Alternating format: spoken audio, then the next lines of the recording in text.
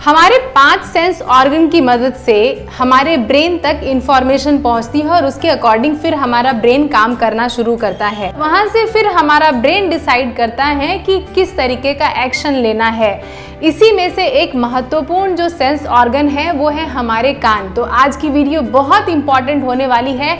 आपके कान की सेहत को दुरुस्त रखने के लिए, आपके कान को स्वस्थ रखने के लिए।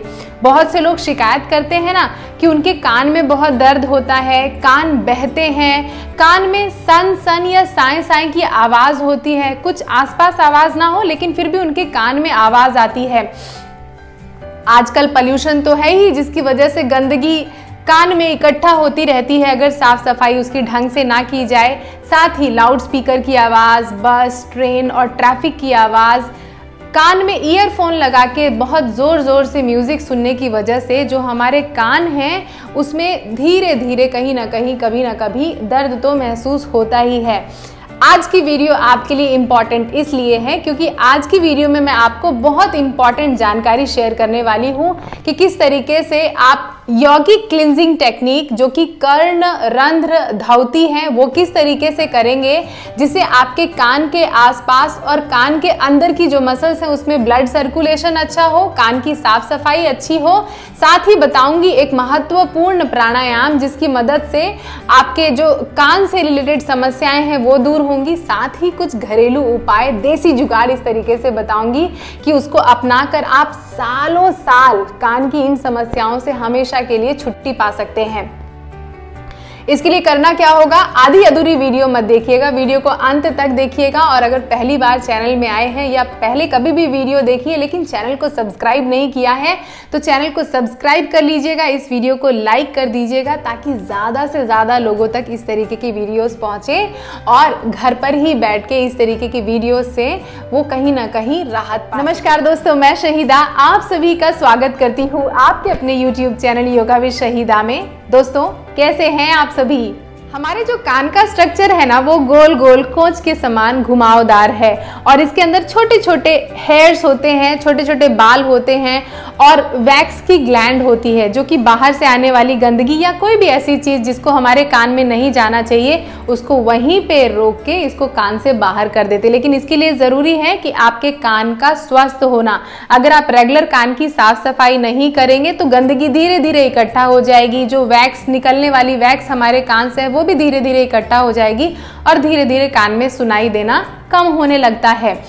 अब कान की साफ़ सफ़ाई के लिए बहुत से लोग बहुत तरीके अपनाते हैं। जैसे बहुत से लोग माचिस की तीली का इस्तेमाल करते हैं, या बहुत से लोग एक प्लास्टिक की छोटी सी, पतली सी तीली होती है, जिसके आगे कॉटन के बर्ड्स लगे होते हैं, उसका इस्तेमाल करते हैं। अब जब इससे साफ़ सफ़ाई करते हैं तो बहुत से रिस्क होते हैं कि गलती से अगर माचिस की तीली टूट गई और कान के अंदर रह गई, या कि वो कॉटन कान के अंदर रह गया, या थोड़ा आपने ज़्यादा प्रेशर लगा दिया तो इससे क्या होगा कि अंदर हो सकता है कि इंजरी हो जाए, घाव हो जाए किसी तरीके से, या कि फिर इसके अलावा जो ये तीली होती हैं और ये जो प्लास्टिक की कॉटन बर्ड्स होते हैं, ये पतले होते हैं, ये अगर कान में अंदर आप लेके भी जाते हैं तो इनसे ब्लड सर्कुलेशन इम्प्रूव नहीं होगा। अब इस परेशानी से बचने के लिए भी योग में काफ़ी अच्छी टेक्निक है जिसका नाम है कर्ण रंध्र धौती यानी कान की क्लिनजिंग कान की साफ़ सफ़ाई जो कि हमारे यौगिक टेक्स्ट में बताया गया। इसके लिए आपको ज़्यादा कुछ नहीं करना है आपको रखना है एक कटोरी में पानी जो कि नॉर्मल सा, सादा पानी है एक कटोरी में ऐसे रखा है मैंने। अब इसमें मैंने अपनी इंडेक्स फिंगर को इस तरीके से डिप कर लिया और फिर उसके बाद अपने कान में इस तरीके से डाला, और तरीके से आराम से धीरे धीरे घुमाया तो एक वैक्यूम जैसा इफ़ेक्ट आपको फील होगा। इस तरीके से पाँच बार, दस बार, पंद्रह बार इस तरीके से घुमाएँ और धीरे से इस तरीके से निकाल लें। लेकिन इसके पहले ये ज़रूरी है कि अगर आपके नाखून वगैरह कटे हैं, उसको साफ़ कर लें, आपके हाथ को अच्छी तरीके से साफ़ कर लें सो so दैट अंदर जब इस तरीके से कान में आप अपनी उंगलियों को इस तरीके से डालें तो अच्छी तरीके से साफ़ हो जाएँ। तो अब मैं दोनों अपनी उंगलियों को इस तरीके से डिप कर लिया है। दोनों कान में आराम से इस तरीके से डाला और इसको आराम से घुमाते हुए ध्यान रखिएगा, बहुत अंदर की तरफ़ प्रेशर दे के मत कीजिएगा। ये चीज़ बहुत आराम आराम से जेंटल जेंटल इस तरीके से ये साफ़ सफ़ाई की और फिर उसके बाद निकाल लिया। इस प्रक्रिया को आप कभी भी किसी भी वक्त कर सकते हैं बल्कि आप जब नहाते हैं जब आप नहाने के लिए बाथरूम में जाते हैं तो इस तरीके से अपने कान की साफ़ सफ़ाई कर लें। अब इस तरीके से हमने आ, उंगलियों को डिप किया और अब उंगली को अंदर की तरफ़ से लेके आते हुए पूरा जो एक घुमावदार ये कोच की तरह स्ट्रक्चर है कान का अंदर से बाहर की तरफ़। देख रहे हैं आप? अंदर ऐसे उंगली डाली जिससे क्या हुआ? आपका ब्लड सर्कुलेशन कान की जो स्किन है, उसमें ब्लड सर्कुलेशन आराम से इम्प्रूव होगा। और आपको पता है, कान की जो स्किन है, उसमें पैरासिम्पथेटिक वेगस नर्व से वो कनेक्टेड है, जो कि कहीं ना कहीं हमारे नर्वस सिस्टम को बैलेंस करती है और माइंड को काम डाउन करती है। इस तरीके से अंदर से बाहर, अंदर से बाहर, इसी तरीके से दूसरे कान को भी। तो आराम से आप अंदर से बाहर, अंदर से बाहर ऐसे साफ़ कर सकते हैं। ध्यान रखिएगा, नाखून अच्छी तरीके से कटे हों, साफ़ सुथरे हों और हम इस तरीके से अभ्यास कर लेंगे। अब थोड़ा सा मसाज करते हैं कान के बाहर भी। किस तरीके से? देखिए, अंदर तो साफ़ सफ़ाई हो गई, कान के बाहर आपने अपने थंब को लिया। थंब से इस तरीके से कान का जो नीचले, नीचे जो रूट है, यहाँ से उठाते हुए धीरे धीरे आपने इस तरीके से हल्का हल्का मसाज दिया। ऐसे। तो दोनों अंगूठों को इस तरीके से रखें एंड पीछे से ऊपर की तरफ़। पीछे से ऊपर की तरफ़। ऐसे। तो इससे जो कान के आसपास की जो मांसपेशियाँ हैं, वो भी एक्टिवेट होगी। ब्लड सर्कुलेशन अच्छा हो जाएगा और ये हो गया। इसी तरीके से कान के सामने की तरफ़ भी इंडेक्स फिंगर ऐसे ली और कान के सामने की तरफ़ भी हमने सेम प्रोसेस करना शुरू कर दिया। ऐसे ऐसे ऐसे आराम आराम से। फिर क्या किया? जो कान के बाहर की जो ये आ, पतली पतली नसें हैं इनको हल्का हल्का जेंटली प्रेस करना शुरू कर दिया। ऐसे। आराम आराम से। धीरे धीरे धीरे धीरे। तो ये चीज़ें आप दिन में किसी भी वक्त कर सकते हैं, आराम से बैठे हुए हैं तो इस तरीके से हल्की हल्की मसाज कर सकते हैं, जिससे आपको बहुत आराम मिलेगा। ये, इस तरीके से आराम से हमने प्रेस कर लिया। तो ये, इस तरीके से। अब जो आ, कान की लिड है इसको भी अंदर से बाहर की तरफ़ इस तरीके से हल्का सा प्रेस करें फिर रिलीज़ कर दें फिर हल्का सा प्रेस करें फिर रिलीज़ कर दें। आप देख रहे हैं मेरे कान कितनी अच्छी तरीके से हल्के हल्के लाल लाल से हो गए हैं। आपको दिख रहा होगा कि ब्लड सर्कुलेशन इंप्रूव हो गया है। तो ये हो गई हमारी कान की एक्सरसाइज और कर्ण रंध्र धावती का अभ्यास कर लिया, जो कि आप दिन में कभी भी कर अब चलिए बारी आती है प्राणायाम की, जो कि one of the best pranayama है आपके कान से रिलेटेड किसी भी समस्या से निजात पाने के लिए। तो सबसे पहले अपने दोनों थंब से इस तरीके से कान की लिड को बंद करेंगे, ऐसे अंदर ना डाल के, ऐसे बाहर से बंद करेंगे। सो so दैट आपके कान पूरी तरीके से बंद हो गए, फिर इंडेक्स फिंगर और मिडिल फिंगर से आँखों को बंद करें, अपनी रिंग फिंगर को अपर लिप्स के ऊपर रखें और लिटिल फिंगर को लोअर लिप्स पर रखें और दोनों हाथों को अच्छी तरीके से आराम से रिलैक्स मैनर पे घुट अपने शोल्डर लेवल तक रखें। हम फाइव टाइम्स भ्रामरी प्राणायाम करेंगे।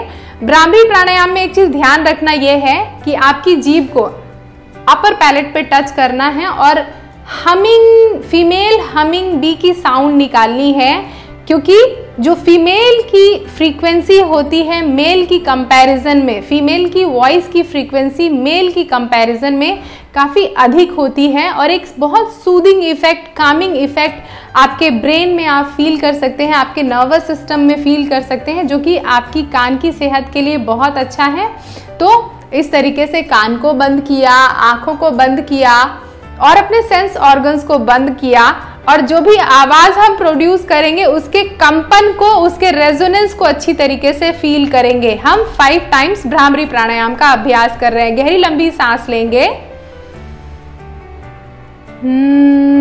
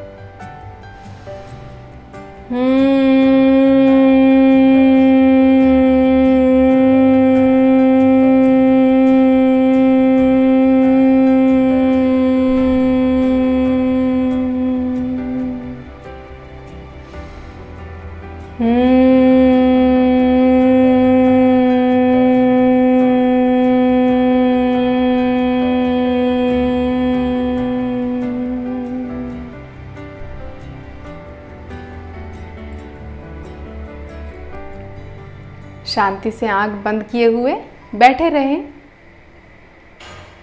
और जो भी ये वाइब्रेशंस क्रिएट की है, आपने रेजोनेंस क्रिएट किया है, इसको फील करें। शांति फील करें, मन की शांति। और धीरे से फिर आँखों को ब्लिंक करते हुए आँखों को खोल लें। तो ये हो गया हमने किया ब्राह्मरी प्राणायाम का अभ्यास। इसी तरीके से पाँच राउंड, सात राउंड, नौ राउंड, बारह राउंड, आप जितने कंफर्टेबल फील कर रहे हैं, उतने कंफर्ट उतना कंफर्ट होके आप इस अभ्यास को करें।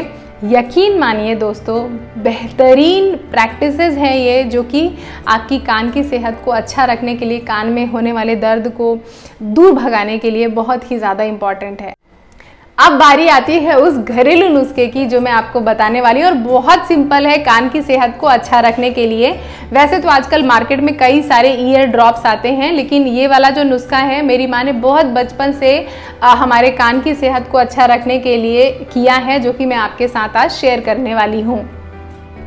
अब इस होम रेमेडी या घरेलू उपचार के लिए आपको चाहिए होंगे दो से तीन गार्लिक यानी लहसुन। उनको अच्छी तरीके से बारीक बारीक काट लें इस तरीके से कूट लें ताकि रस निकल जाए। और फिर किसी भी एडिबल ऑयल यानी खाने के तेल जैसे सरसों का तेल हो गया, तिल का तेल हो गया, उसको हल्की आँच में गरम करके उसमें इन लहसुन के पीसेस को डाल दें और इनका अर्क जो है उस तेल में उतरने दें। फिर तेल को ठंडा कर लें और अच्छी तरीके से उस तेल को छान लें ताकि लहसुन का कोई भी पीस उस तेल में ना रहे। अब इस तेल को हल्का ठंडा हो जाने दें। अब ठंडा हो जाने के बाद कॉटन यानी रुई को इस तरीके से डुबाएँ।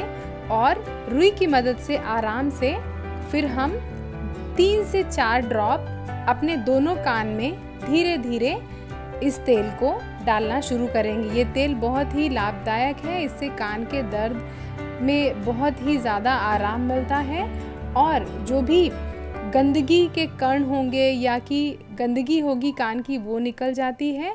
और रात में इसको डाल के इस तरीके से कान में आराम से सो जाए। दो से तीन बूंद डालें और धीरे धीरे इस तेल को अंदर जाने दें। अब सेम तरीका हम दूसरे कान के लिए भी अप्लाई करेंगे। वैसे तो मार्केट में बहुत सारे ईयर ड्रॉप्स भी आते हैं, जिनका आप इस्तेमाल कर सकते हैं, लेकिन घरेलू नुस्खों की बात कुछ और ही होती है।